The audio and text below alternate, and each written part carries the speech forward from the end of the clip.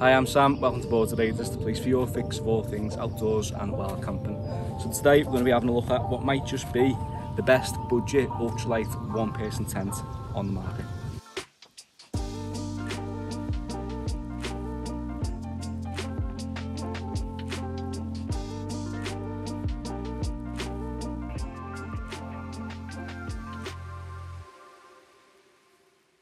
So it is of course the Lanshan One Plus by 3FUL. Now I've used this tent extensively over the past year in the UK as well as a five day trip in Norway so I feel I've got a really good ideas of the pros and cons of this tent. So today we're going to be going through the setup of the tent and I'm also going to be showing you the four season T-door it as well as the mesh J-door and we're going to be comparing the two. So before I show you the actual tent I'm first going to run through the basic specs and show you the tent in its packed form.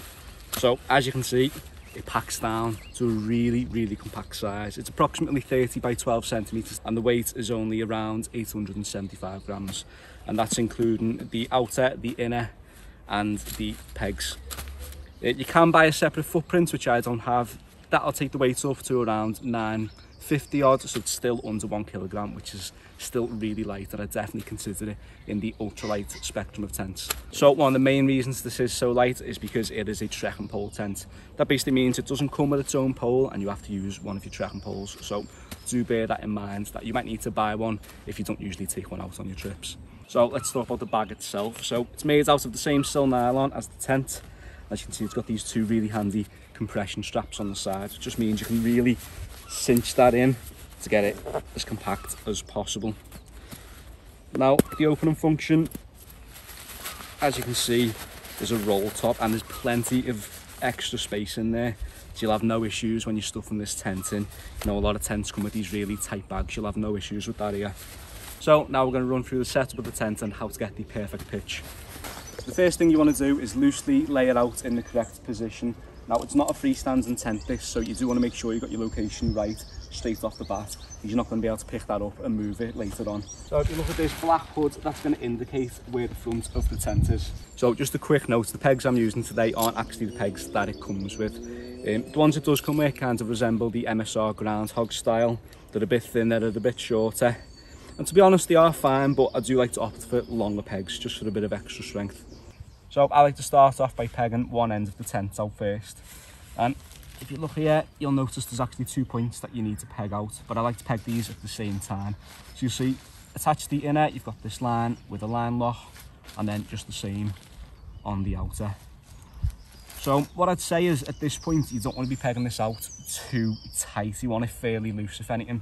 Just means once everything's pegged out, you can go in and adjust it properly. So I found this length, if you leave around two thirds of slack, seems to work just fine. So now I'm going to move on to the other side. So when you're pegging this side out, you want to pull it to the slight tension, but again, nothing that's going to be too tight so you can adjust later on. And what you want to do as well is you typically want to follow the seams. Just means you're going to pitch it to the right dimensions. And now I'm going to move on to the back. Uh, just keep in mind as well, it wouldn't bother with any of the guy lines at this point. Uh, once the tent's got its structure, we're going to move on to that. So next we're going to get the trekking pole set up and this is basically going to give us the structure of the tent. So it's recommended you set this up to 125 centimetres and I found that is about right. Uh, what I like to do is set a little bit higher to 130 and then if I need to I can just drop it down slightly. So now I'm going to put this in. Um, when you're putting this in you want to make sure the door is closed and you want to put this in at the point where it meets the apex of the tent. So you'll feel as you put it in it'll just nestle into the top of the tent there nicely. And then you want to carefully just start to put it up. So as you'll see at the bottom, it's got its own little eyelet that I'm just going to nestle the bottom into.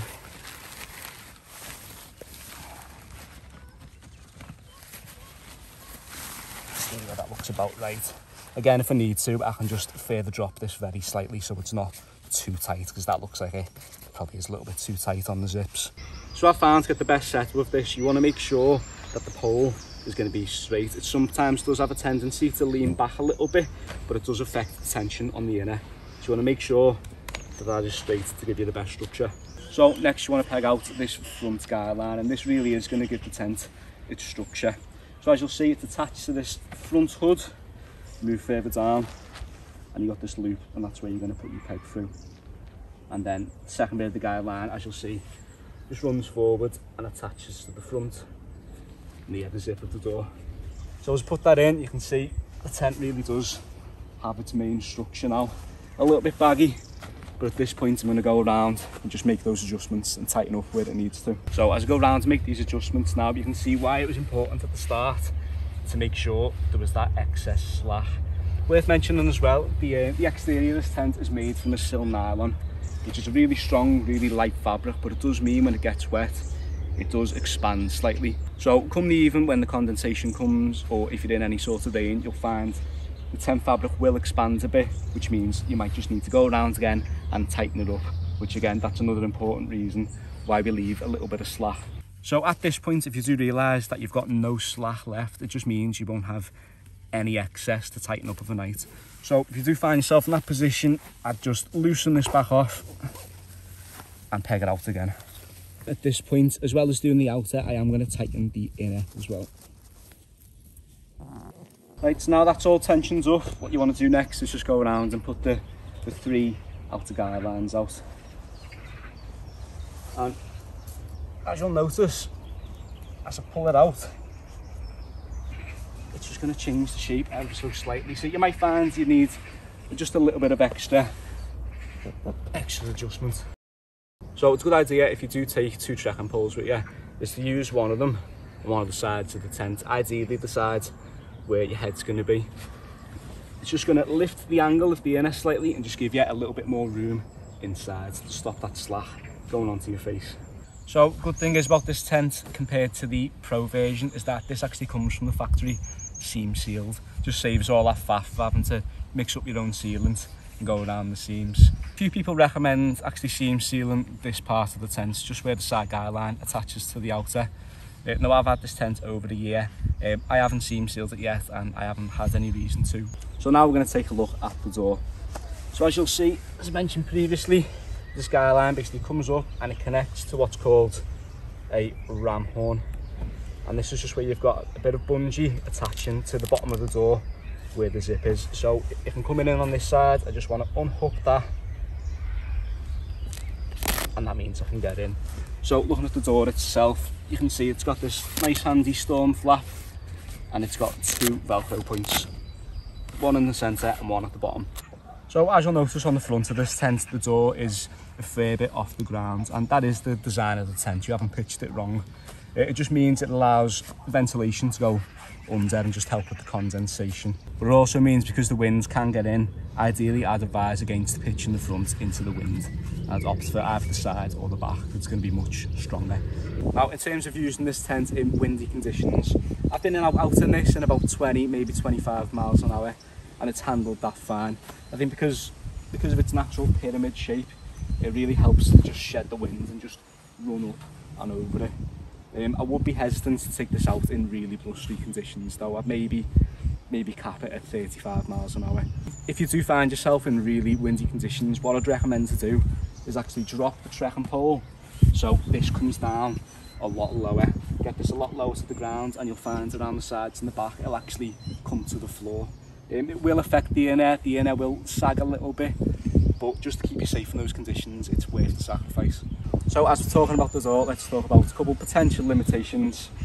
Um, as you'll see, this is only a one-way zip, which means you can only zip it coming up from the bottom. It doesn't allow you, you know, to crack a little gap at the top for ventilation. Um, the good thing is though, there is actually a mesh panel just underneath the black hood here, which just provides just a little bit extra ventilation. Obviously, most of your airflow is going to come from underneath the gap in the door. Moving on to the ram horn. Now, this is something that I've seen a lot of people have issues with, especially if you're out in windy conditions. Basically the problem people have is this plastic ram horn is a little bit flimsy and people have had experiences where it's actually snapped off in the wind. It's really easy to upgrade and it's something that I'll probably be doing and just replacing this plastic ram horn with a metal one that you can get for pennies off AliExpress. So it can be a little bit fiddly taking this bungee off the ram horn, you know, particularly if you're in cold conditions and you've got gloves on. So when I'm opening the door, I'll typically open just one side and I'll pitch the other side, you know, into the winds just to give me a little bit of protection. A really good design feature on this though is this front guy line. Just means if you want to, you can detach both the ram horns and roll both of the doors back, just so we've got this really open front. So I'm going to roll back this side of the tent, and as you do so, simply want to get the bottom of the door and roll from this point. Just means that you're going to get a nice tight closure on it. And as you'll see, there's just a standard little toggle and loop system there, which is elasticated. So now we've got this rolled back, you can see the vestibule, the 10 foot size is actually really good. It's a really good size. Plenty enough room to keep your bag in there. I'll typically leave me 48 litre Osprey just leaning against the pole there or off to the sides just so it's out of my way. And there's also plenty of room to do, you know, any of your cooking or your washing up. So next let's talk about the interior of the tent. So as you can see, this is using the four season T-door it, which basically just means there's a zip running from the middle and then all the way across the bottom. So if we look to the top, you can see there's a small section of mesh, and that's basically just going to help the airflow uh, coming up from the bottom of the door and just giving a bit of ventilation going to the interior of the tent.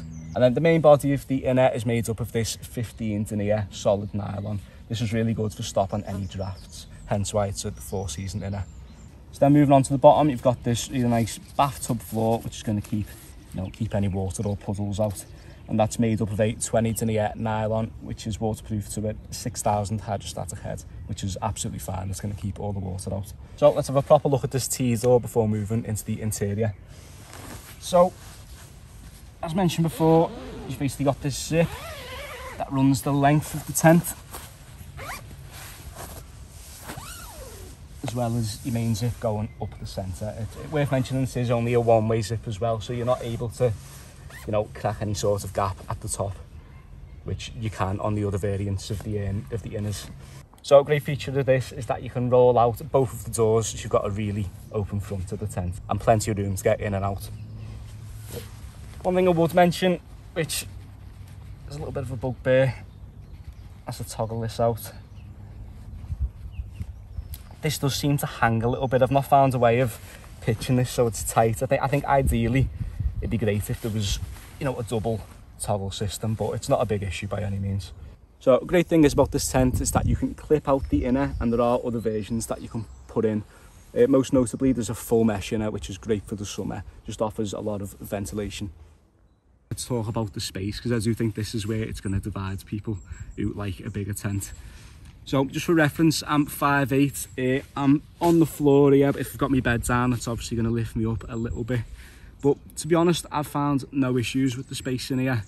Uh, if I'm sitting inside, I'll typically sit here near the apex. It's obviously going to be the tallest part of the tent.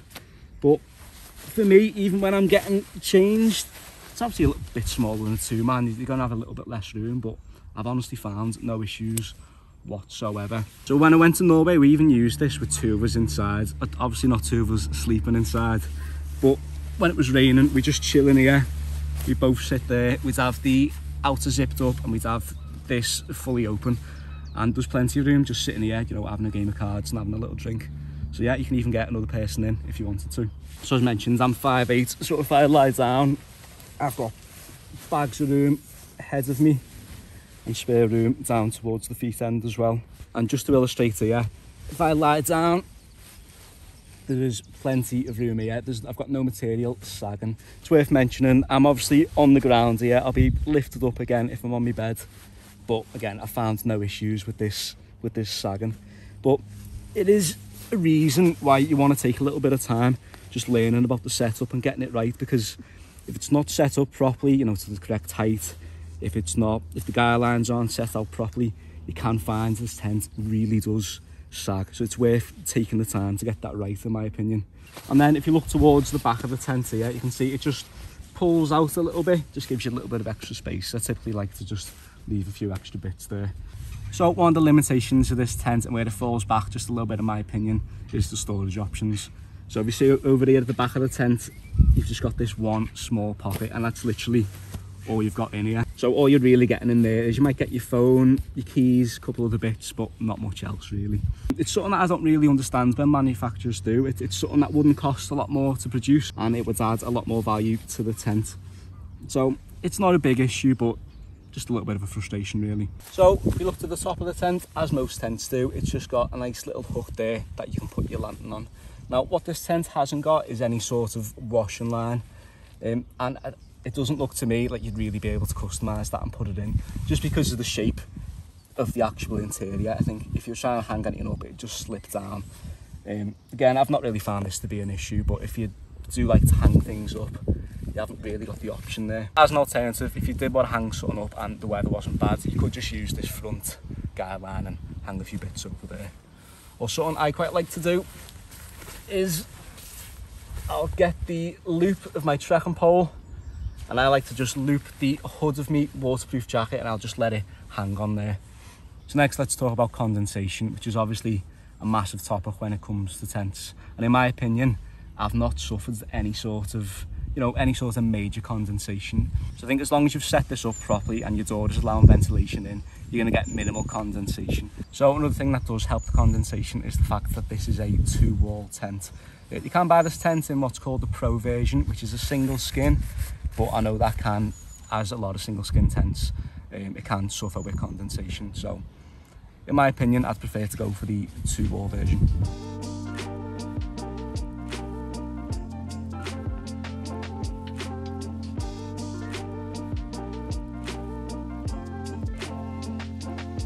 So in conclusion, is this the best budget ultralight one person tent on the market? For me, I really think it could be.